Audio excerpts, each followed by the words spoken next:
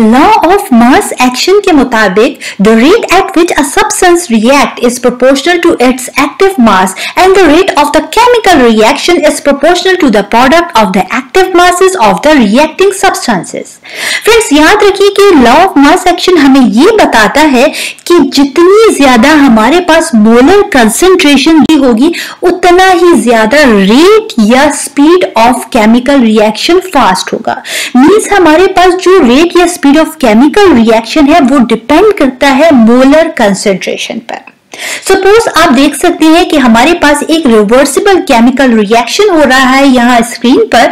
Reactant A and B जो है combined हो रहे हैं और एज अ रिज़ल्ट हमारे पास प्रोडक्ट फॉर्मेशन हो रही है, जो है सी एंड डी जितनी ज़्यादा इनकी मोलर कंसेंट्रेशन होगी, उतना ही ज़्यादा हमारे पास जो रेट ऑफ़ केमिकल रिएक्शन होगा, वो फास्ट होगा। तो याद रखिए कि law of mass action applicable होता है रिवर्सिबल रिएक्शंस पर, जब वो इक्विलिब्रियम में होते हैं। रिवर्सिबल रिएक्शन क्या होते हैं? रिवर्सिबल रिएक्शन वो रिएक्शन होते हैं जो at a time forward direction में और रिवर्स डायरेक्शन में प्रोसीड करते हैं। अब रिवर्सिबल रिएक्शन में हम इक्विलिब्रियम कब अचीव करेंगे? जब हमारे पास rate of forward reaction means reactant को प्रोडक्ट में कन्वर्ट होने की जो रेट या स्पीड होता है, वो इक्वल हो जाती है प्रोडक्ट की रिएक्टेंट में रिकन्वर्ट होने के। तो जब rate of forward reaction equal हो जाता है रेट ऑफ़ रिवर्स रिएक्शन की तो इस टाइम पर हम इक्विलिब्रियम अचीव कर लेते हैं। फ्रेंड्स जब हम रिवर्सिबल रिएक्शन में इक्विलिब्रियम को अचीव कर लेंगे तो उसी वक्त हम लॉ ऑफ़ मास एक्शन को अप्लाई कर सकते हैं। यहाँ पर आप देख सकते हैं कि हमारे पास इस रिवर्सिबल रिएक्शन में हमने डिस्कस किया कि अब हम इक्विलिब्रियम जो है अचीव कर चुके हैं।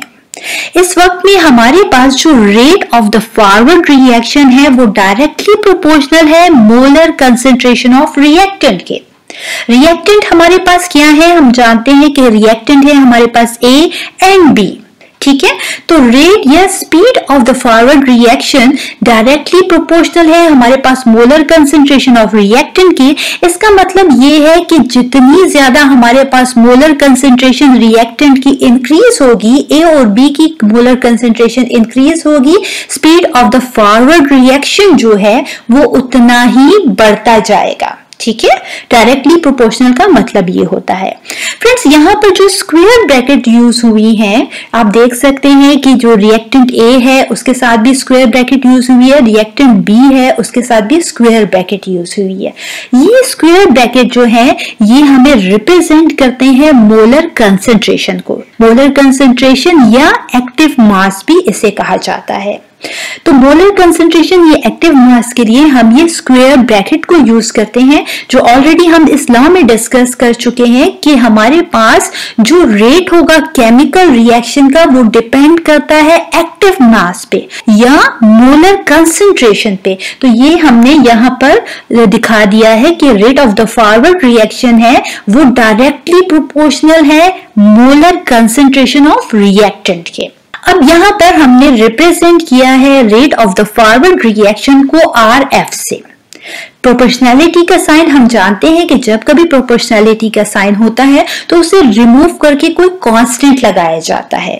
यहाँ पर भी हमने प्रोपोर्शनैलिटी के साइन को जैसे ही रिमूव किया तो उसकी जगह जो कांस्टेंट लगाया आप देख सकते हैं, वो है K F means rate constant for the forward reaction into हमारे पास क्या आ गया? Molar concentration of A and molar concentration of B अब बात करते हैं rate of the reverse reaction की। रिवर्स रिएक्शन मीन्स प्रोडक्ट का रिकम्बाइन होके कन्वर्ट हो जाना अगेन रिएक्टेंट में, वो हमारे पास रिवर्स रिएक्शन कहलाता है। अब हमारे पास रेट या स्पीड ऑफ़ रिवर्स रिएक्शन किस पर डिपेंड करती है? हमारे पास molar concentration of C and D पे डिपेंड करती है। मींस जितनी ज़्यादा हमारे पास मोलर कंसेंट्रेशन ये एक्टिव मास ज़्यादा होंगे सी एंड डी ये उतना ही ज़्यादा हमारे पास rate of the reverse reaction या speed of the reverse reaction उतनी ही ज़्यादा बढ़ती जाएगी। ठीक है? डायरेक्ट प्रोपोर्शनलिटी का मतलब क्या होता है कि एक चीज़ जब इंक्रीज होगी तो ऑटोमेटिकली दूसरी इंक्रीज होगी। यहाँ पर जब कंसेंट्रेशन हमारे पास सी और डी की इंक्रीज होगी तो रेट ऑफ़ रिवर्स रिएक्शन भी इंक्रीज हो जाएगा।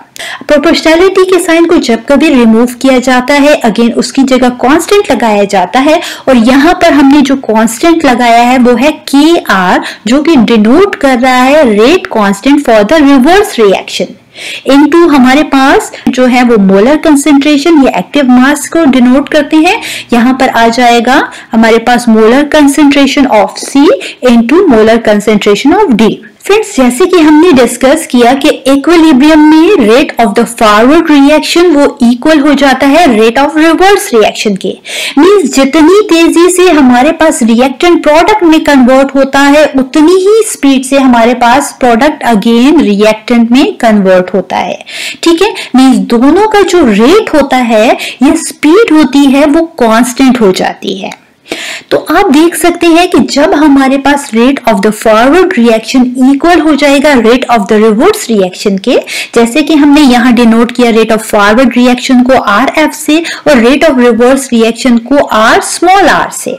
जब ये दोनों रेट इक्वल हो जाएँगे मीन्स हमारे पास जो rate of the forward reaction और rate of the reverse reaction ये दोनों इक्वेशंस भी इक्वल हो जाएँगे। तो हम इसे इस तरीके से लिख सकते हैं कि k f into the molar concentration of A into the molar concentration of B is equal to Kr into the molar concentration of C into the molar concentration of D.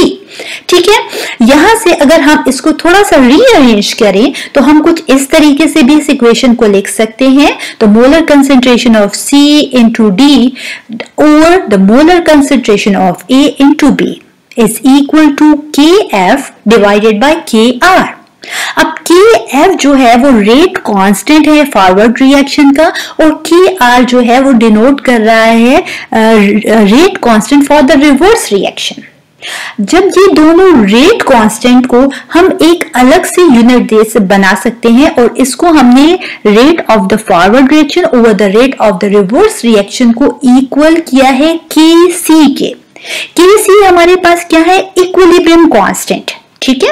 Equilibrium constant है, जिसे हमने denote किया है के सी से। अब ये जो इक्विलिब्रियम कांस्टेंट है, इसका अगर हमारे पास मोलर कंसेंट्रेशन प्रोडक्ट की और the molar concentration of reactant अगर ये दोनों की कंसेंट्रेशन सेम होगी तो हमारे पास जो इक्विलिब्रियम कांस्टेंट जिसे हमने के सी से रिप्रेजेंट किया है, इसका कोई भी यूनिट नहीं होगा। इसी लॉ को बेहतर तौर पर अंडरस्टैंड करने के लिए हम एक और जर्नल एग्ज़ाम्पल लेते हैं। आप देख सक रहे हैं कि हमारे पास यहाँ small a small b small c और स्मॉल डी जो है, वो रिप्रेजेंट कर रहे हैं number of moles of the reactant and product को। ठीक है? अब यहाँ पर आप देख सकते हैं कि जो स्मॉल ए है, वो ये बता रहा है कि हमारे पास कितने number of moles of capital A मौजूद है इस रिएक्शन में। स्मॉल बी डिनोट कर रहा है हमारे पास कि कितने number of moles of capital B हमारे पास इस रिएक्शन में मौजूद है। स्मॉल सी हमें यहाँ डिनोट कर रहा है कि हमारे पास कितने number of moles of capital C यहाँ मौजूद है और स्मॉल डी रिप्रेजेंट कर रहा है कि हमारे पास यहाँ कितने number of moles of capital D इस रिएक्शन में इन्वॉल्व हैं। यहाँ आप इसको अगर कंपेयर करते हैं एक केमिकल रिएक्शन के साथ, जैसे कि आप स्क्रीन पर देख सकते हैं कि हमारे पास हाइड्रोजन गैस जो है वो कंबाइन हो रही है आयोडीन के साथ और एज अ रिज़ल्ट हमारे पास हाइड्रोजन आयोडाइड फॉर्मेशन हो रही है। ठीक है? यहाँ पर आप देख सकते हैं कि हाइड्रोजन जो है वो वन मोल है आयोडीन जो है वो भी वन मोल है, जबकि हाइड्रोजन आयोडाइड जो कि प्रोडक्ट फॉर्मेशन हो रही है वो टू मोल्स है। ठीक है, अब क्या होगा इस केमिकल रिएक्शन में? चलिए देखते हैं। रिवर्सिबल रिएक्शन में जब हम इक्विलिब्रियम को अचीव कर लेते हैं तो उसी पॉइंट पर हम लॉ ऑफ़ मास एक्शन को अप्लाई कर सकते हैं। इक्विलिब्रियम हमारे पास कब अचीव होता है? जब rate of the forward reaction equal होता है rate of the reverse reaction के। मींस रिएक्टेंट का कंबाइन होके प्रोडक्ट में कन्वर्ट होने की स्पीड इक्वल हो जाती है प्रोडक्ट की अगेन रिएक्टेंट में कन्वर्ट होने की स्पीड के बराबर। तो उस पॉइंट पर हमारे पास रिवर्सिबल रिएक्शन में इक्विलिब्रियम अचीव हो जाता है। अब इसे हम किस तरीके से रिप्रेजेंट कर सकते हैं? इस लॉ के मुताबिक आप देख सकते हैं कि rate of the forward reaction वो डायरेक्टली प्रोपोर्शनल होता है, हमें पता है मोलर कंसेंट्रेशन ऑफ़ रिएक्टेंट के। अब हमारे पास मोलर कंसेंट्रेशन के लिए या एक्टिव मास के लिए हम स्क्वायर ब्रैकेट का यूज़ करते हैं। यहाँ आप देख सकते हैं कि rate of the forward reaction directly proportional है molar mass of the hydrogen into the molar mass of the iodine इस, ये चीज़ रिप्रेजेंट कर रही है कि जैसे जैसे हमारे पास मोलर कंसेंट्रेशन रिएक्टेंट की मींस हाइड्रोजन और आयोडीन की इंक्रीज होगी वैसे वैसे हमारे पास स्पीड या rate of the forward reaction भी बढ़ता जाएगा। Rate of the forward reaction को अगेन हमने रिप्रेजेंट किया है आर एफ़ से। ठीक है? अब प्रोपोर्शनैलिटी का साइन जब कभी हटाया जाता है तो उसकी जगह कॉन्स्टेंट लगाया जाता है। यहाँ पर हमने प्रोपोर्शनैलिटी को रिमूव करने के बाद यहाँ पर कॉन्स्टेंट लगाया है के एफ़ के एफ़ रिप्रेजेंट कर रहा है rate constant for the forward reaction को।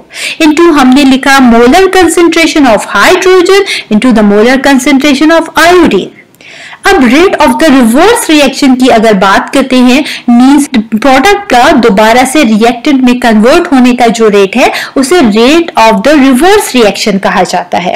ठीक है? रेट ऑफ़ रिवर्स रिएक्शन किस पर डिपेंड करता है कि हमारे पास मोलर कंसेंट्रेशन प्रोडक्ट की क्या है। आप देख सकते हैं कि प्रोडक्ट हमारे पास क्या है, हमें मालूम है कि हाइड्रोजन आयोडाइड, ठीक है? हाइड्रोजन आयोडाइड को स्क्वायर ब्रैकेट में क्यों लिखा गया?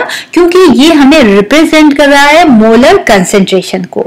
यहाँ पर आप देख सकते हैं कि two moles of hydrogen iodide जो है यूटिलाइज हुए हैं। यही वजह है कि टू मोल्स को हमने यहाँ पर ऊपर ब्रैकेट के ऊपर पावर की सूरत में लिखा है, जो कि रिप्रेजेंट कर रहा है कि मोलर कंसेंट्रेशन जो हाइड्रोजन आयोडाइड की है, वो टू मोल्स है। अब जो rate of the reverse reaction है, इसे रिप्रेजेंट किया गया है आर स्मॉल आर से।